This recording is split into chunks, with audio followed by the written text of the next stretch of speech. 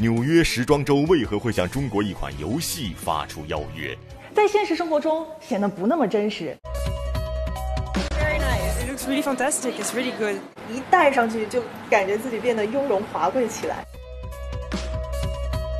就好像小时候埋藏在心底的那个武侠梦瞬间被激发了。啊，我们在纽约时装周，呃，专门找了一位就是头发银白的模特，像一个就是初入江湖的侠女的一个风范。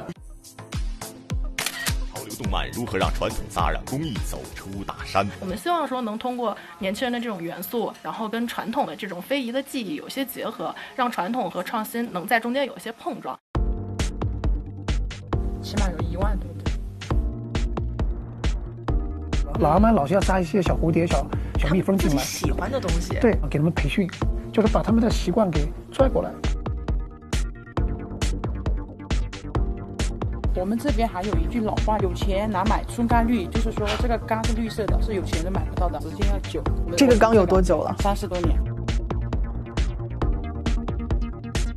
早晚必须要搅一下的。嗯，跟他打个招呼，对对对吧对对好，现在是早上，我也跟他说早早安。千年的敦煌壁画如何通过数字化走进现实生活？就刚刚三五分钟的时间，我就已经设计出来了这么多款。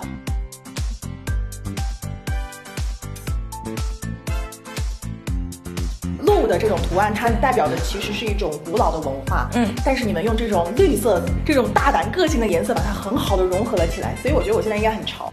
一座古都又将与一部动漫演绎怎样的奇妙故事？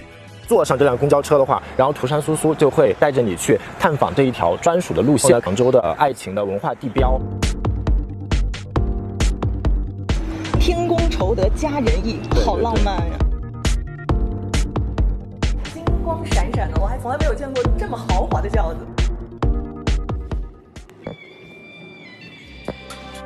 传统文化这样子的一个话题的结合呢，能培养一些学生群体，让他们就是喜欢上博物馆，走进博物馆。敬请收看《走遍中国古风新潮》。